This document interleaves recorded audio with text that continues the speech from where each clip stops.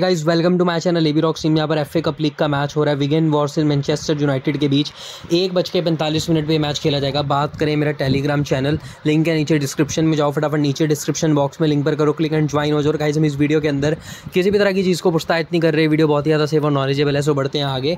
Then बात करें अगर हम इस मैच की then Wigan and Manchester United में जो मैच हो रहा है, इसके अंदर मैं मैनचेस्टर यूनाइटेड को फेवर करूँगा. Actually Manchester United premier league की टीम है भाई. भले यूनाइटेड प्रीमियर लीग में अच्छा प्रदर्शन नहीं कर रही, लेकिन भाई वो ऐसी बेकार टीमों से मेरे को नहीं लगता कि इनसे हारेगी, क्योंकि विगन टीम बहुत कमज़ोर है भाई as compare to Manchester United Wigan team की अपनी खुद की लीग में इतना बेकार परफॉर्मेंस है तो मुझे तो नहीं लगता कि वो यूनाइटेड से किस बेस पर भिड़ रहे हैं आई डोंट नो और अगर ये नॉकआउट मैच भी है तो भी यूनाइटेड ये मैच जीत सकती है। अगर यूनाइटेड ये मैच भी हारती है तो शर्मनाक बात है, लानत है भाई साहब।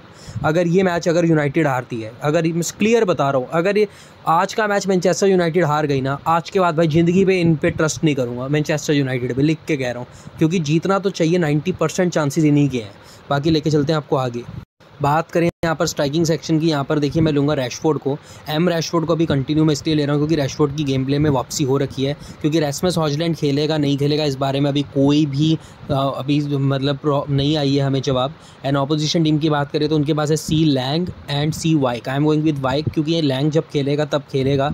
अभी उसके बारे में श्योर नहीं है कि वाइक और लैंग में से कौन खिलाएँगे। अगर दोनों को खिलाते हैं तो हम फ्राइज को किस जगह पर बैठाएँगे, अभी कुछ नहीं पता। क्योंकि इनके पास तीन ऐसे ऐसे स्ट्राइकर हैं, जिनमें से दो खेलेंगे और उनमें से हम दो को लेने की कोशिश करेंगे बट आफ्टर लाइनअप्स आगे से अगर बात करूँ मिडफील्डिंग की तो बी फर्नांडिस और भाई गरनैचो को क्या हो गया? बड़ी अच्छी फॉर्म में यार। लास्ट मैच में भी अच्छा प्रदर्शन। सेकेंड लास्ट मैच में तो दो गोल कर दिए थे बंदे ने भाई। मतलब इतना अच्छा वापसी, क्योंकि मैक्टोमिनी भी फिट है एरिक्सन भी फिट है, उसके बाद, A A Matheus dos Santos भी फिट है, ये भी खेल रहा है। बट फिर भी मैं देख रहा हूँ कि भाई साहब गरनैचो गोल कर रहा है तो ये तो बड़ी बात है।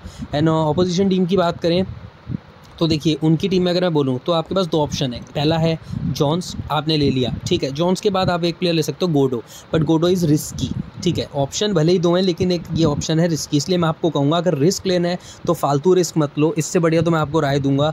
इससे बढ़िया तो आप भाई हम फ्राइज को ही ले लो। जेनविन बता रहा हूँ। ठीक है, आगे से अगर मैं डिफेंडिंग की बात करूँ तो ल्यूक शॉ ल्यूक शॉ के बाद Diogo Dalot these are my players उसके बाद वेरेन जब खेलेगा, तब खेलेगा। तब तक मैं इवंस और एवन बिसाका को सेव कर रहा हूँ। क्योंकि मैं देखा कि पिछले मैच के अंदर इवंस को भी खिलाया था बिसाका को भी खिलाया था डैलट को भी खिलाया था ल्यूक शो भी ल्यूक शो को भी खिलाया था, जबकि वेरेन इंजर्ड नहीं था। अब पता चल जाएगा, ठीक है। बाकी विक्टर लिंडलॉफ भी ठीक ठाक है, बकवास लगता है पहले तो। लेकिन अब थोड़ा ठीक लगने लग गया, पहले तो बेकार लगता था। उसके बाद मैगी और मलेशिया वगैरह तो बहुत दिनों से खेलते ही नहीं देखा, इसलिए वो तो उनकी बात ही खत्म हो गई। एंड बात करें यहाँ पर गोल कीपिंग सेक्शन की तो एस्टिकल को लूँगा। देखिए, एस्टिकल कैसा प्रदर्शन करेगा आई डोंट नो क्योंकि आज एस्टिकल का इम्तिहान की घड़ी है। एस्टिकल को ही गोल रोकने पड़ेंगे और कोई तो आएगा नहीं, ठीक है। तो जेनविन बात है कि अगर रोकता है तो अच्छा चल जाएगी टीम की इनकी। अगर नहीं रोकता, गोल तो भाई हार जाएँगे। तो बात करें आगे, कप्तान की, कप्तान है हमारा ब्रूनो। वाइस कप्तान देखिए रेशफोर्ड और गर्नेचो में से रख लो बट गरनैचो इतना ट्रस्ट वर्ती प्लेयर है नहीं तो मैं रेशफोर्ड के साथ जाऊँगा, क्योंकि रेशफोर्ड के पास एक्सपीरियंस भी है। ठीक है, बाकी ये अपनी टीम मिलती है नेक्स्ट वीडियो में बाय